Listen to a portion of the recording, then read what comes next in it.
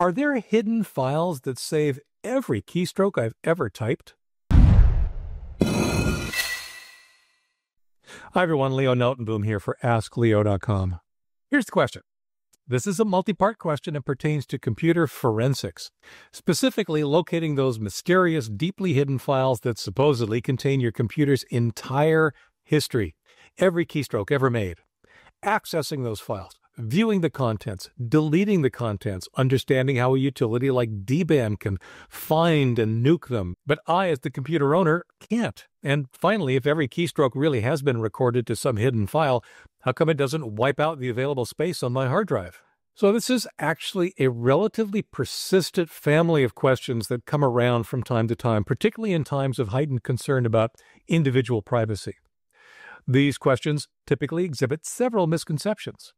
Further, those misconceptions can be based on kernels of truth, which means I can't always just say, this is wrong.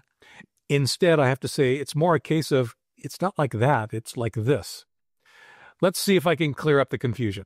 And to do so, we'll need to talk about keystrokes, loggers, hidden files, erasing files, and really erasing files. Let's start with this. There is no hidden file containing every keystroke you've ever typed on your computer. Okay, let's get that out of the way. Pragmatically, if every keystroke were being recorded somehow, there's no way after all this time it would still be some kind of a secret. We'd be hearing a lot more about successful prosecution of cyber criminals, along with a plethora of lawsuits regarding various privacy concerns. So, no, there is no hidden permanent record of every keystroke recorded by the operating system, drivers, or other official software. However, there are kernels of truth. For example, as I wrote the article, as I typed the article on which this video is based, well, yeah, every keystroke is being recorded to create the article. That's what you would expect. The documents you create, the emails you send, these are all types of records of your keystrokes. Keyboard buffers hold every keystroke for a while. These allow you to type ahead when your computer is doing something else. Once the computer's ready, again, everything you typed suddenly appears. Those buffers range anywhere from a few bytes to several thousand, and as they fill up, they remove older keystrokes to make room. Normally, they're in memory only. Turn your computer off, and they're gone. There may also be one in your actual keyboard, but again, turn the power off and it's gone too. Keyboard buffers may be written to disk swap files as the operating system manages memory between all of the running programs. If you turn off your computer, the swap file remains and it could technically be recovered and examined for interesting contents. It's easy to get the swap file, but extremely difficult to make sense of what's inside. There's also no predicting what the swap, file will contain or for how long. It's also worth remembering that all bets are off if you have malware.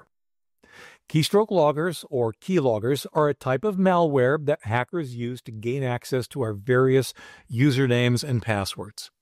As the name implies, keyloggers record or log every keystroke and then send them off to the hacker, typically over the internet. Once sent, of course, there's nothing you can do.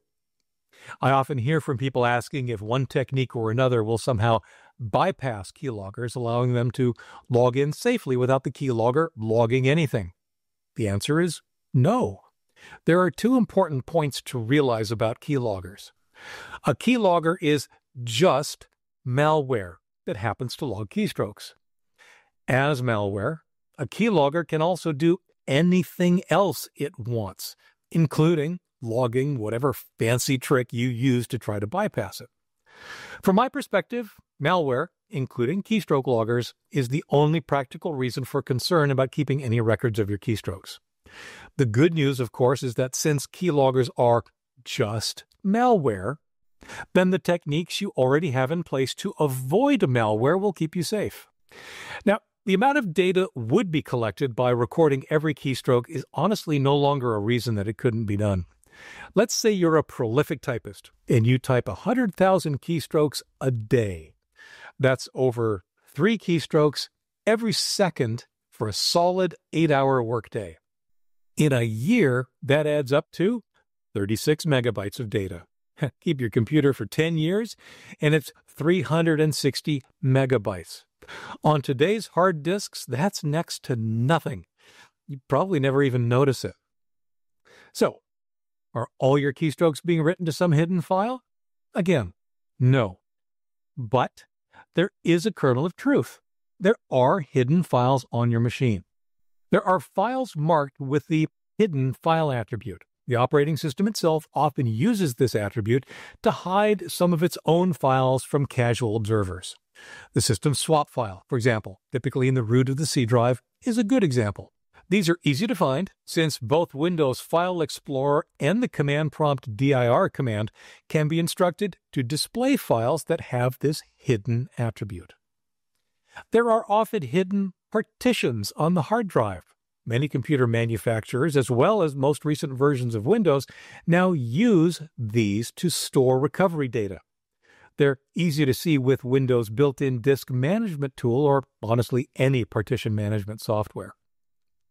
There's an obscure form of hidden data possible in files stored on a disk that's formatted using the NTFS file system. NTFS supports something called alternate data streams. Not many people know about this feature, although it's not difficult to detect if it's been used. And lastly, indeed, there are techniques such as VeraCrypt's hidden volume, which use various approaches to hide data within other data. So, yeah, as you can see, there's the potential for a lot of hidden information on your PC.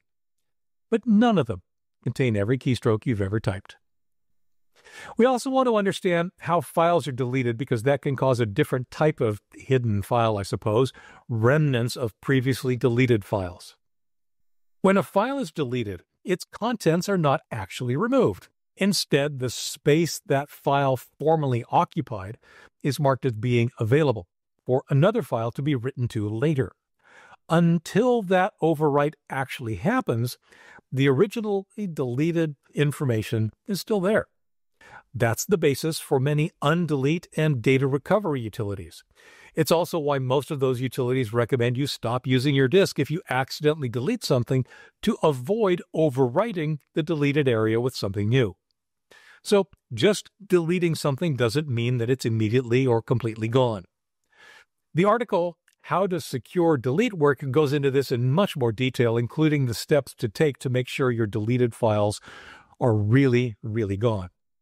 Which brings us to DBAN and drive wiping utilities like it.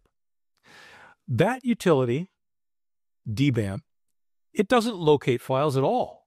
It doesn't care about files, hidden or otherwise. But once again, there's a kernel of truth. It erases your files, all of them.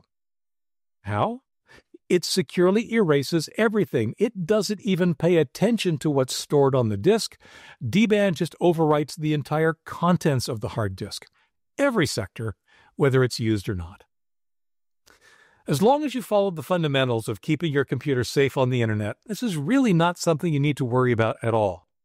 Even then, unless you're doing something illegal or secretive, you're just not that interesting. When the time comes to dispose of hardware such as your disk drive, tools like DBAN are a fine way to make sure your private information is sufficiently erased.